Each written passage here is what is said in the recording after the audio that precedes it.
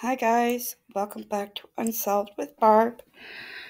I'm just doing a little bit more research and this um, came out. Uh, father of missing Tennessee newborn charged with murder of mother, child, police say. Oh my god. Hmm. Okay, Memphis. The father of the newborn who was kidnapped Wednesday morning as the mother was shot to death has been arrested and charged with two counts of first degree murder, according to the Memphis Police Department.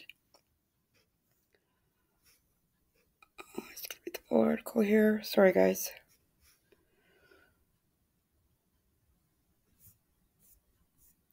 Oh.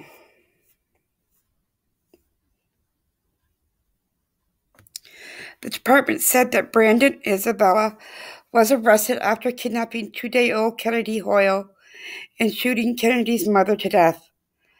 Police confirmed that the mother, 27 year old Danielle Hoyle, uh, police say that Kennedy has not been found yet, but the evidence suggests that the two day old girl is deceased.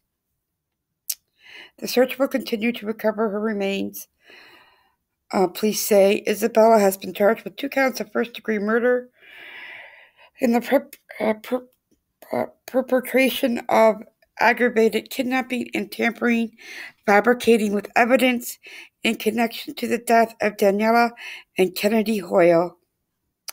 Hoyle's mother told Detective, um, sorry, told WREG, a detective came to her home and asked her to identify her daughter in a photo. She said the detective told her they found the body near Hoyle's abandoned car, uh, but it had not been identified.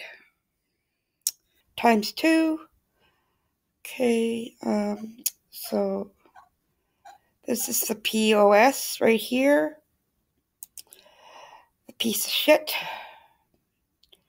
Excuse my language, sorry. Well, let's hope that um, little baby Kennedy is hopefully safe and he is just lying about her death. Um, maybe to hide her. I don't know. Uh, but let's pray. All right, guys. I hope you guys have a better evening, and I'll take talk to you guys soon. So take care.